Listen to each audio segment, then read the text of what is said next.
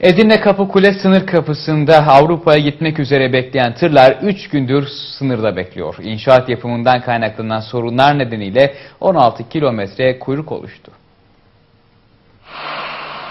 Bulgaristan'ın Kaptan Andreeva sınır kapısındaki inşaat çalışmaları nedeniyle Kapıkule sınırında uzun kuyruklar oluştu.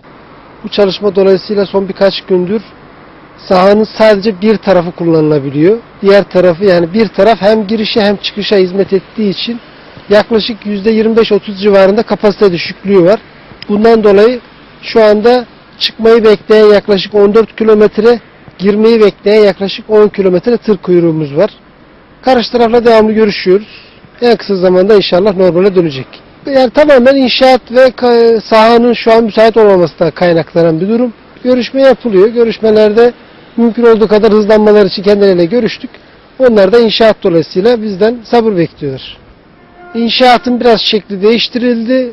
E, kapasiteyi çok etkilememek için inşaatın çok az bir kısmında e, faaliyet devam edecek. Normal e, inşallah birkaç e, güne kadar kuyruğumuz kalmayacak. E, bu zaten görüşmeler neticesinde birkaç tane daha peron açıldı.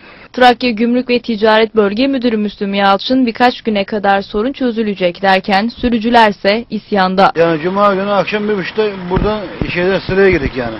O da otobandan sıraya girdik yani.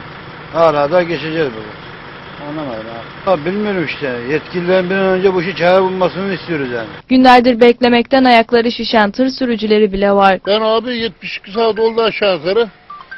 Bazı sürücüler de Bulgaristan'ın özellikle geçişleri yavaşlattığını iddia etti. Cuma günü saat 12.30'dan 14. kilometreden kuyruğa girdim. Bugünden beri buradayız işte.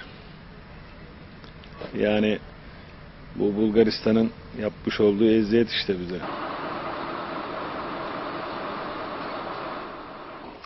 Hayrabolulular Derneği Küçükçekmece'de gelenek